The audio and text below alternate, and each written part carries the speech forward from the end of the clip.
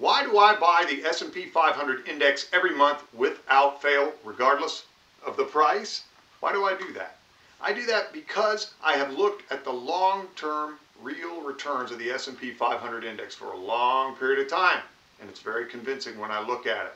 However, to look at that and get the right idea, I have to look at it the right way. I even have to look at it on the right kind of graph. Okay, if I look at it on the wrong kind of graph, I'll get mixed up. I won't get the right idea. So here's this data that goes from 1791 all the way to 2025. This is the S&P 500 total real return. That is, we have taken inflation and considered it here and removed it. So this is real return. This is real value. Okay, for the S&P 500 index for the last 232 years, and you can see the pattern here. Okay, it's a straight line. It's fantastic. It's amazing.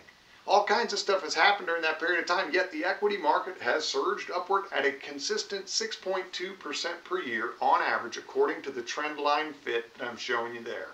Okay, yes, there have been lots of bounces up and down, that's right. Okay, but still, there's clearly a pattern there. Okay, that I'm looking at that data and I'm showing it to you right now on a logarithmic plot. A logarithmic plot is a plot where on this vertical axis it goes 1, 10, 100, 1,000, 10,000. It grows by factors of 10. Not 1, 2, 3, 4, 5, 6, 7, 8, 9, 10, like the graph that you learned about in algebra class. Okay? This is what that same data looks like on a linear plot. You see it?